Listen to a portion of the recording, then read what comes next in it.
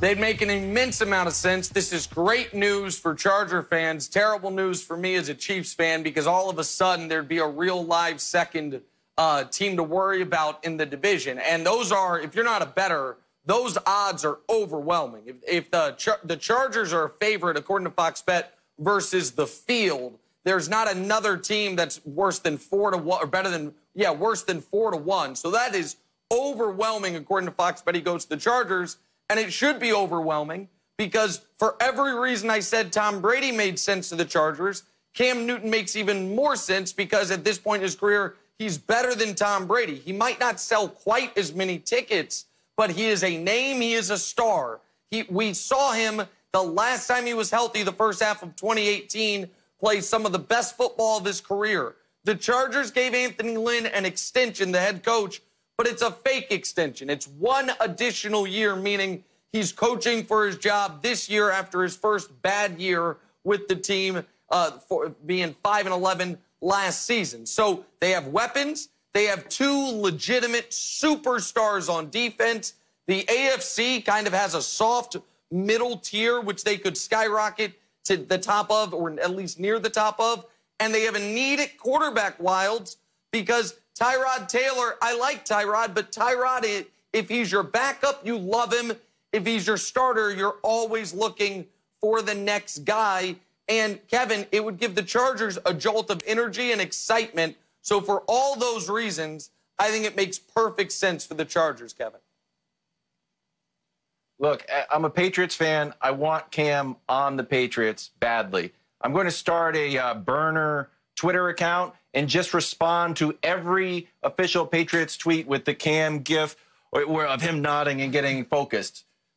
But if he's not going to the Patriots, I would like him to go to the Chargers because I'm a fan of the NFL overall. I pulled up the Chargers 2020 opponents on the old trusty rusty computer here.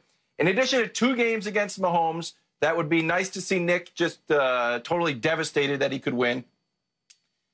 Uh, Cam plays against the Bengals, so I'll have uh, Joe Burrow versus Cam would be a great game.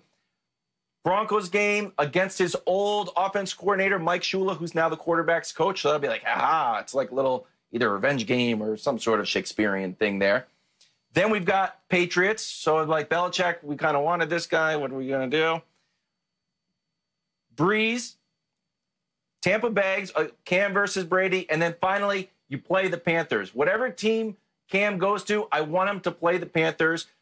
The over under on that game will be 100 points, and, Cam, and this final score of the game will be 100 to nothing. Cam is going to light the Panthers on fire. Greg, I wouldn't mind him going to the Chargers. Right. Long story short. Too late.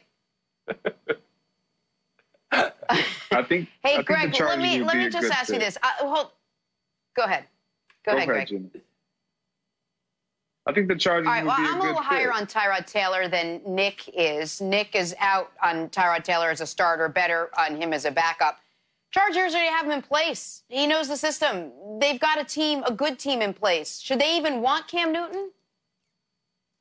Yeah, they should. They should because he's a superstar. He's a proven winner. He's a former MVP. He's taken a team to the to the Super Bowl. He understands what it takes, and he's maturing.